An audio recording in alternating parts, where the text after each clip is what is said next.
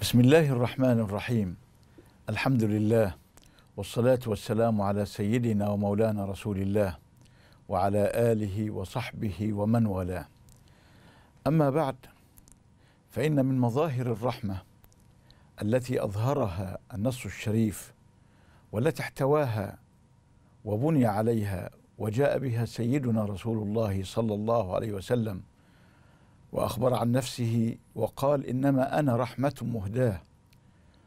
وأخبر عنه القرآن الكريم وما أرسلناك إلا رحمة للعالمين.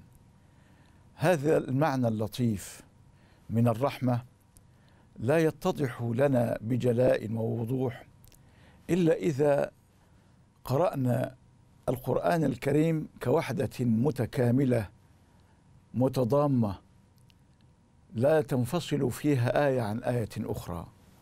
وكذلك مع كل هذا سنة رسول الله صلى الله عليه وسلم التي هي ترجمة حقيقية للقرآن الكريم ولما جاء في القرآن الكريم. ولذلك من أراد أن يقرأ القرآن الكريم بمعناه الحقيقي الذي قصده الشرع الشريف فلينظر إلى مسيرة سيدنا رسول الله صلى الله عليه وسلم. فإن أم المؤمنين عائشة لما سئلت عنه وعن شخصه الشريف صلى الله عليه وسلم وعن خلقه وأخلاقه قالت كان خلقه القرآن ولذلك رسول الله صلى الله عليه وسلم هو قرآن يمشي على الأرض يترجم ما جاء في القرآن الكريم بهذا السلوك النبوي الشريف. ولهذا فإنه ينبغي عندما نستبطن الرحمة ونقرأ الرحمة من خلف السطور ومن بعد السطور ومن خلال السطور ينبغي أن نقرأ القرآن الكريم وسنة رسول الله صلى الله عليه وسلم قراءة متكاملة. لا يجوز لنا أن نجتزئ بعض الآيات لنأخذ منها شيئا يحقق أغراضا لنا دنيوية دون أن ننظر إلى الجانب الآخر أو أن نهمل الجانب الآخر أو ألا ننظر إلى الآيات الأخرى.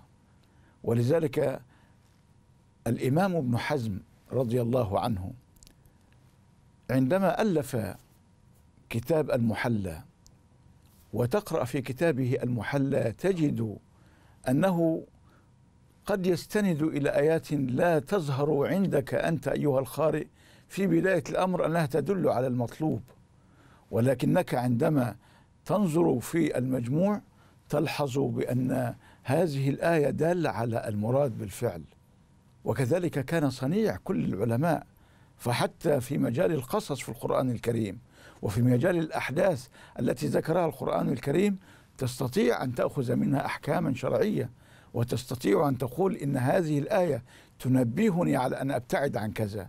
إن هذه الآية تدلني على أن أفعل كذا. وبصيغ عديدة وبأشكال وأنماط مختلفة. فالقرآن الكريم بكل آياته لا يصح لنا أن نأخذ بعض الآيات وأن نترك الآيات الأخرى دون أن نقرأ الكل قراءة متكاملة. ولذلك مما وقع فيه أولئك الذين يريدون الحياة الدنيا ويريدون أن يصلوا بالنص الشريف من خلال فهم سقيم إلى أغراض دنيوية أنهم اجتزأوا بعض آيات القرآن الكريم أو أنهم أخذوا بعض المواقف من سيدنا رسول الله صلى الله عليه وسلم وجعلوها حجة دون أن ينظروا إلى المواقف الأخرى ودون أن يربطوا بين هذا الموقف الذي حدث أو أن ودون أن يربطوا بين هذه الآية التي استدلوا بها والتي أخذوا بها وبين الآيات الأخرى. هذا الذي حدث من عدم الربط وعدم القراءة المتكاملة أدى إلى خلل. ولذلك عندما يأتون إلى آية في سورة التوبة والله سبحانه وتعالى يقول فيها فإذا انسلخ الأشهر الحرم فاقتلوا المشركين حيث وجدتموهم وخذوهم واحصروهم واقعدوا لهم كل مرصد. إلى آخر الآية الكريمة فإنهم عندما قرأوا هذه الآية وأطلقوا عليها أنها آية السيف إلا أنهم لم يقرأوا الآية الأخرى التي جاءت بعدها بقليل.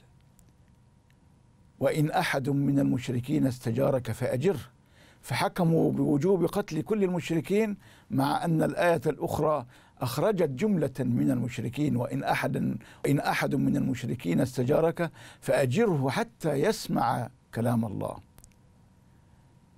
الربط بين الآيات مطلوب. ثم إنهم غفلوا عن كثير من الآيات التي تدل على الرحمة وتدل على المسالمة وتدل على الهداية. غفلوا عن كل ذلك وآتمسكوا بهذه الآية فقط. وإن أحد من المشركين استجارك فأجر. ثم إنهم بعد إهمالهم لفهمهم للآيات الأخرى عمدوا وقصدوا إلى أن يجروا ويعمموا الحكم ويقولوا بأنه يجب قتل الجميع فعاثوا في الأرض فسادا استدلالا بهذه الآية لأنها تدل على أن الرسول أو أن المسلمين في وقت رسول الله صلى الله عليه وسلم إنما يكلفوا بقتل مشركين محددين معينين لا غير ذلك. وهم الذين عاندوا رسول الله صلى الله عليه وسلم في مكة المكرمة دون غيرهم. وإلا فأين أنت أيها الإنسان الذي لم تقرأ المشهد بكامله؟ أين أنت من رسول الله صلى الله عليه وسلم عندما قدم المدينة المنورة ووجد طوائف أخرى لم تؤمن به صلى الله عليه وسلم وظلوا على ما هم عليه من المعتقدات؟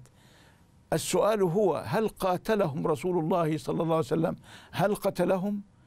استدلالا بقوله فإذا انسلخ الأشهر الحرم فاقتلوا. رسول الله صلى الله عليه وسلم لم يفعل ذلك في شيء أبدا بل كان رحمة للجميع ولذلك ينبغي علينا ونحن نفهم كتاب الله سبحانه وتعالى أن نقرأه قراءة متكاملة لا قراءة جزئية ولا مجتزأة. وصلى الله وسلم وبارك على سيدنا ومولانا محمد وعلى آله وصحبه وسلم.